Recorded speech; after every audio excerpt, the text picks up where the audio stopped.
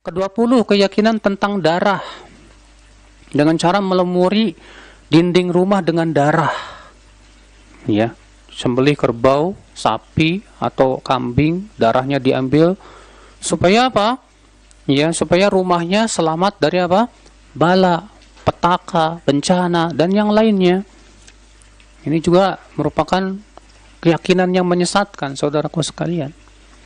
Kalau di negeri kita biasanya apa? Ditulisin tuh di pintunya itu apa?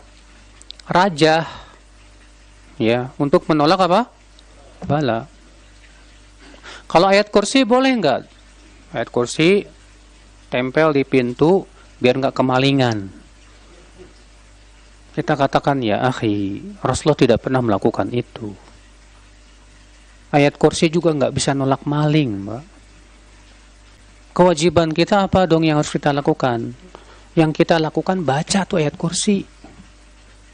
Rasulullah mengatakan siapa yang baca ayat kursi sebelum tidur, ia akan dilindungi dari setan sampai pagi hari.